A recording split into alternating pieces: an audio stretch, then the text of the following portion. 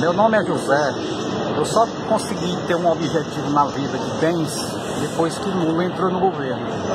Depois que ele saiu, eu só estou faltando não poder mantê-los. Porque o país entrou em crise por causa de um presidente que não sabe administrar. Se meu Lula estivesse lá, estava tudo bem. Mas infelizmente não se encontra no poder. Você votaria no Lula de novo? Voto no Lula quantas vezes eu puder. Sempre.